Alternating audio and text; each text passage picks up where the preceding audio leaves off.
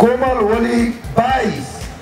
जब राप्रपाको केन्द्रीय अध्यक्षका लागि उम्मेदवारी दिएका कमल थापाले बाइस नम्बर भन्दै गायिका कोमल ओलीको नाम सुनाए गायिका ओलीको नाममा होटिङ सुरु भयो। कोमल ओली दुई र दुई। कोमल ओली दुई र दुई। कोमल ओली दुई र दुई। कोमल ओली दुई र दुई।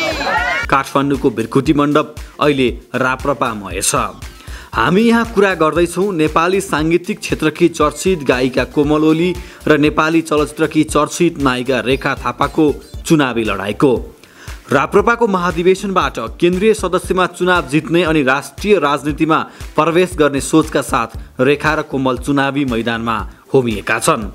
महाधिवेशन सुरु भएदेखि नै भिरकुटी मण्डपमा पुगेर भोट मागिरहेका कोमल रेखाको शैली भने फरक छ।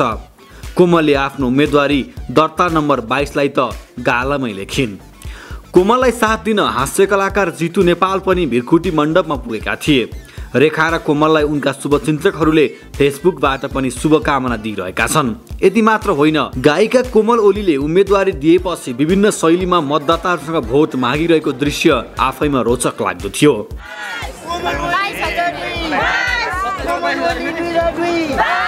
यता नायिका रेखा थापा भने सेल्फी खिच्न मतदाताहरूसँग भोट माग्न व्यस्त छिन्। सोमबार मतदान स्थलमा अनलाइन खबरको क्यामेरा पुग्दा कोमल ओलीको सक्रियता बढी देखियो। रेखा पनि भिरकुटी मण्डप त पुगिन् मतदान गरिन रिस्किन्। चलचित्र वा साङ्गीतिक क्षेत्रमा लागेर दर्शकको मन जित्नु र राजनीति गर्नु फरक कुरा हो।